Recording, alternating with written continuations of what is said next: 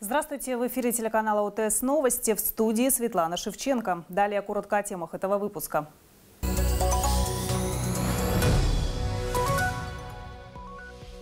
Полмиллиарда упаковок с лекарствами на аптечных складах Новосибирской области. На какое время хватит медикаментов льготникам? Начался весенний призыв в военкоматах очереди. 12 новосибирцев поедут служить в президентский полк. Куда отправятся остальные? Памятник Покрышкину сменил свою локацию. Теперь он в самом сердце площади Маркса. Как меняется ландшафт центра Левобережья?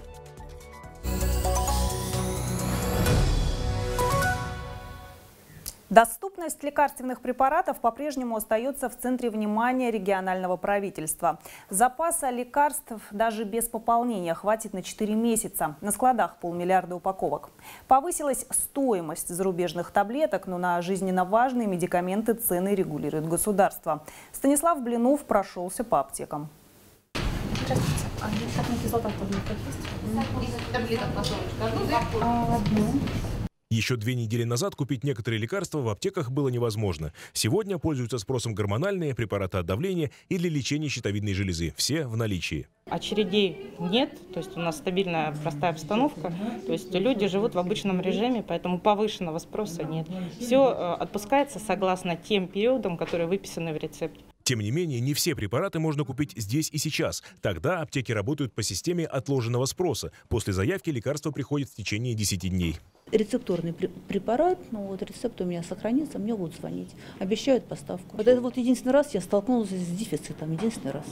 Выросла стоимость в основном импортных препаратов. На лекарства из списка жизненно важных цены регулирует государство. Ну, я покупаю вот на пепт от давления, покупаю для головы. Обычно здесь все есть. Ну, иногда не бывает, но потом через некоторое время приходит.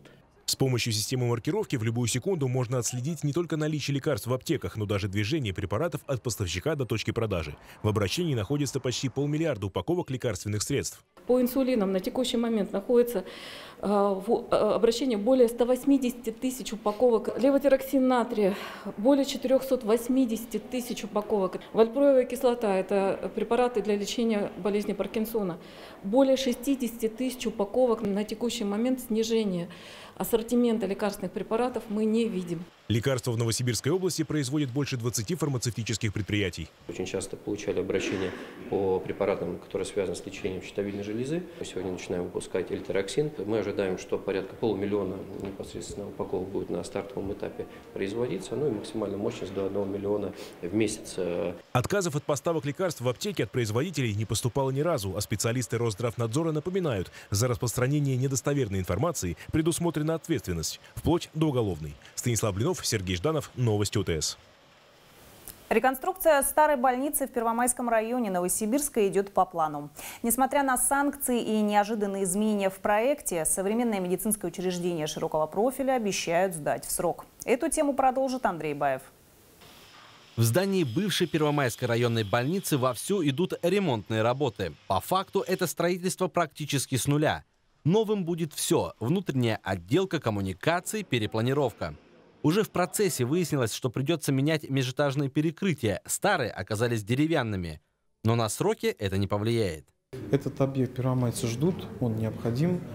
Реализуется он по а, поручению губернатора Новосибирской области и при инициативе первомайцев и депутата законодательного собрания Козлова Александра Петровича. Объект нужный, он необходим. И мы, конечно, все его ждем, потому что и качество доступной медицинской помощи, конечно, будет намного лучше. 100 коек хирургического и терапевтического профилей, современное оборудование и, главное, высококвалифицированные специалисты. С открытием этой больницы для почти 90 тысяч жителей Новосибирска доступнее станут все виды помощи, как экстренной, так и высокотехнологичной. Здесь будет КТ, рентген, эндоскопическая служба. Все в приемном покое сосредоточено рядом, примыкающей реанимации. И, соответственно, если пациенту требуется хирургическая помощь, он на лифте поднимается вверх на второй этаж в операционный блок. Возродить Первомайское медицинское учреждение – это один из наказов избирателей. Теперь он будет исполнен благодаря подписанному соглашению. Завершить все работы планируют до конца этого года. К открытию также планируют благоустроить и территорию больницы, в которую входит небольшой сквер. Андрей Баев, Андрей Дулепов, Новости УТС. Жилье и инфраструктуру в Новосибирской области будут строить с помощью механизмов Дом.РФ. Организации, которая дает возможность заемщикам оформить ипотечный кредит на более выгодных условиях, а также помогает застройщикам. Дом.РФ возглавляет бывший зампред правительства России Виталий Мутко. С ним губернатор Андрей Травников обсудил строительство почти 50 тысяч квадратных метров жилья в Мичуринском сельсовете Новосибирского района. Там появится новый малоэтажный квартал. Механизмы Дом.РФ планируется использовать и в Академгородке. Мы заинтересованы, чтобы э, такой новый инструмент, как арендное жилье, э, появился в Академгородке и удовлетворил спрос студентов или молодых ученых э, на улучшение жилищных э, условий. Э, мы говорили о э, Э, развития инфраструктуры, использования инструмента облигаций Дом РФ э, для финансирования строительства инженерной, и транспортной, и социальной инфраструктуры. Здравствуй, юность в сапогах. Весенний призыв стартовал в Новосибирске. В военкоматах людно. Уклонистов в последние годы становится все меньше. 12 человек отправятся на службы в президентский полк, остальные в части Центрального военного округа. Александр Шпак пообщался с новобранцами. Окулисты, неврологи, терапевты. Призывников обследует целая армия врачей. Психологические тесты помогают выявить тех, кому автомат доверять не стоит. Ну ладно, смотри, пожалуйста, на молоточек.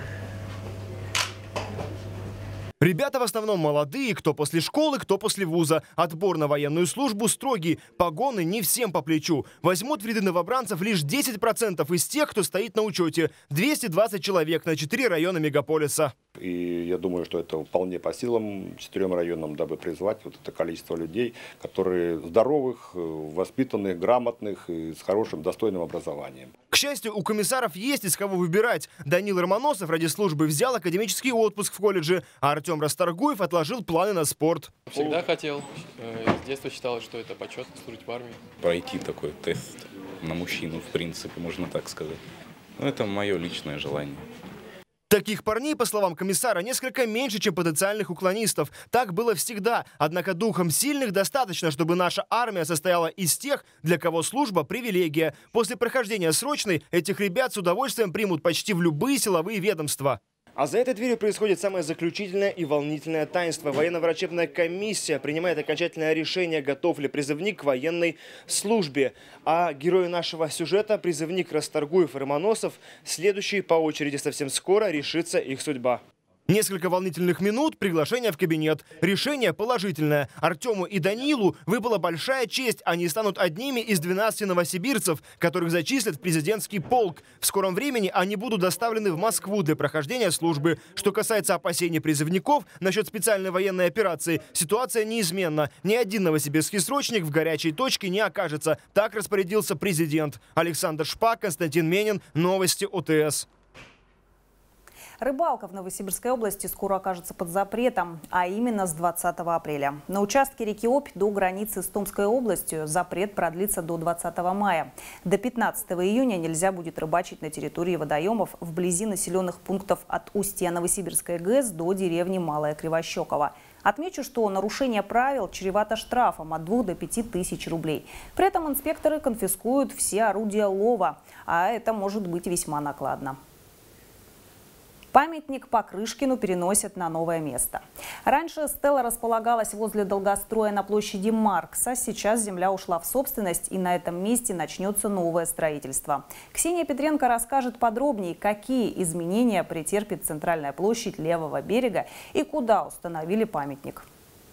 Новое место для памятника Покрышкина – центр кольца на площади Маркса. Раньше он стоял на частной территории, но застройщик собирается начать работы.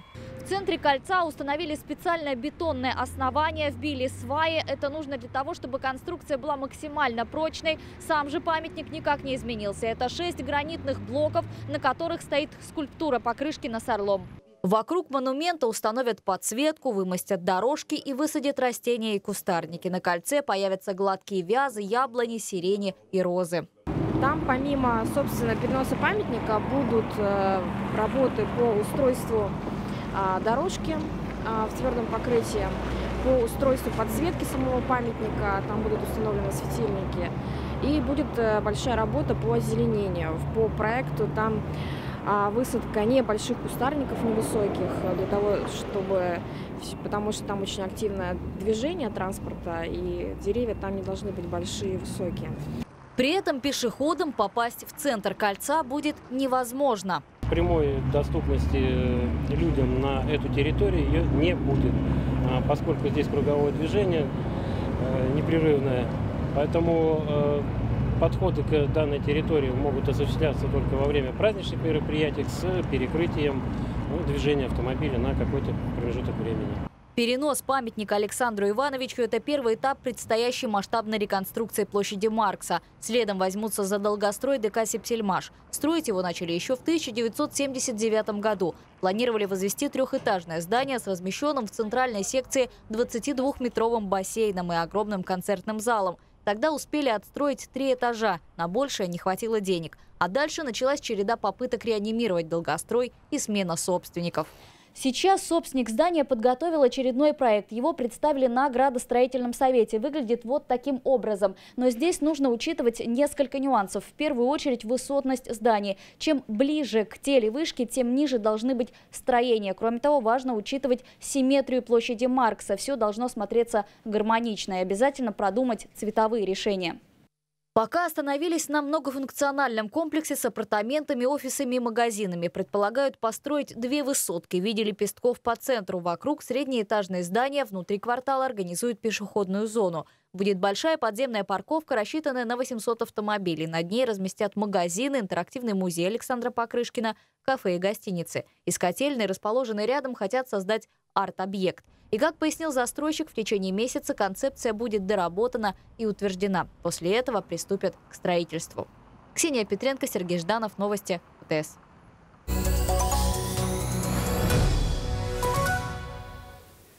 Жители дома на Троллейной улице борются с плесенью, пока победа на стороне грибка. Текущий ремонт кровли и капитальный в квартирах не помогают. Годами с потолка бежит вода и промерзают стены. Подробности в сюжете Александра Попова. Значит, я наматываю на тряпку, на палку, э, развожу медный купорос. Это два раза в году. И вот на лестницу лезу.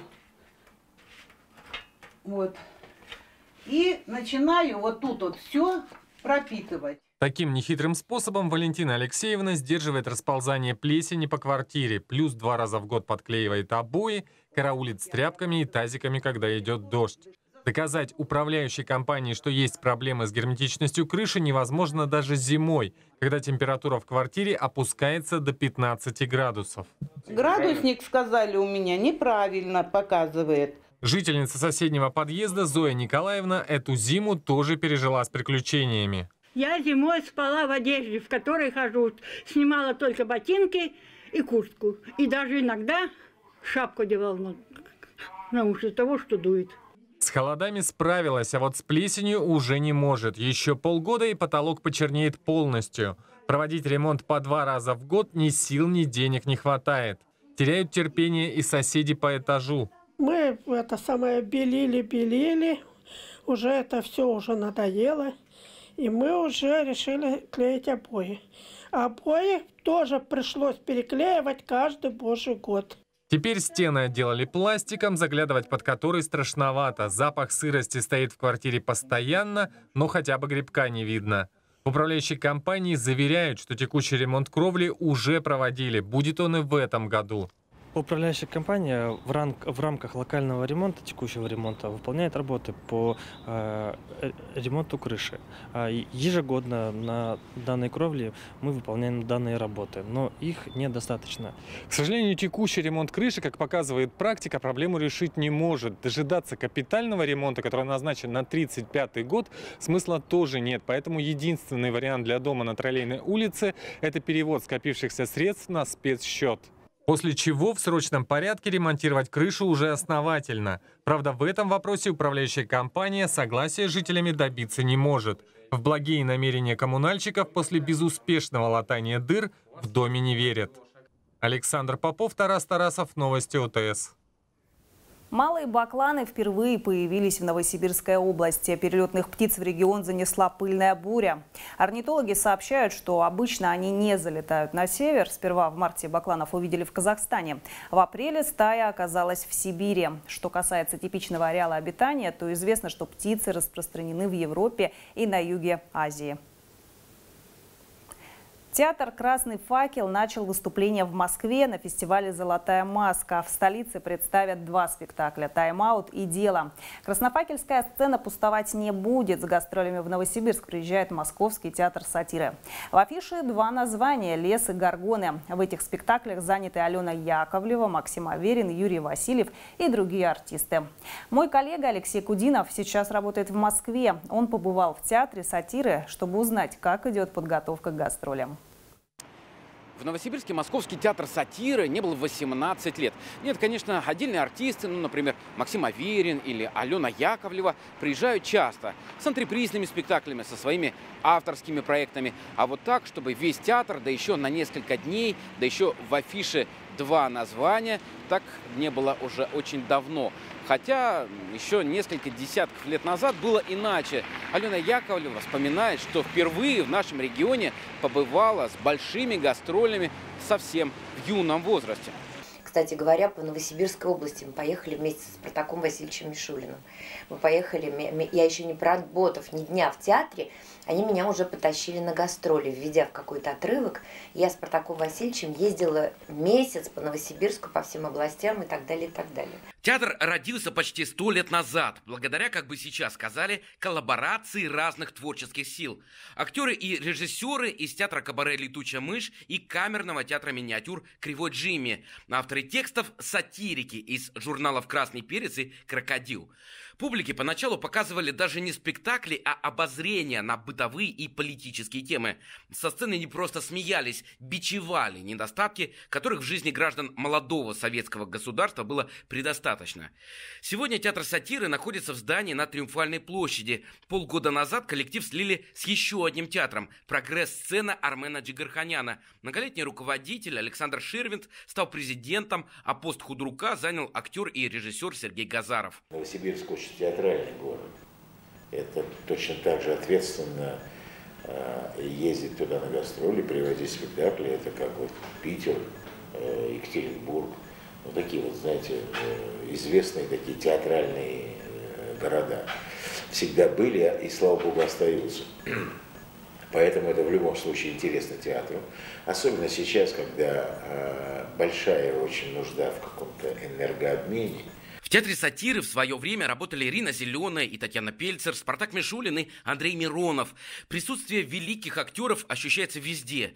С ведущей актрисой Аленой Яковлевой мы встречаемся в одной из гримерок. Когда-то здесь готовился к спектаклям легендарный Анатолий Попанов. Сегодняшние звезды театра сатиры в Новосибирск приезжают часто, но в составе антрепризных проектов.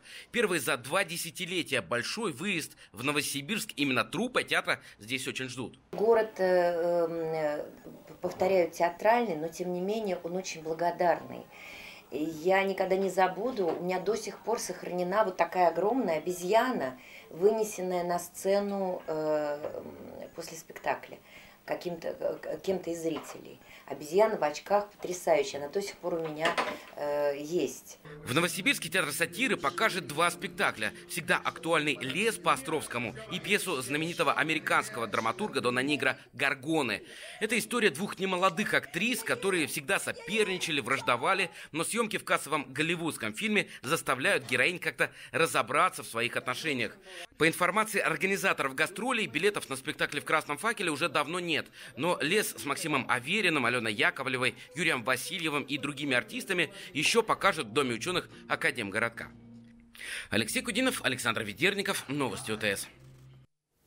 Это вся информация к данной минуте. Еще больше новостей в следующих выпусках. До встречи на телеканале ОТС.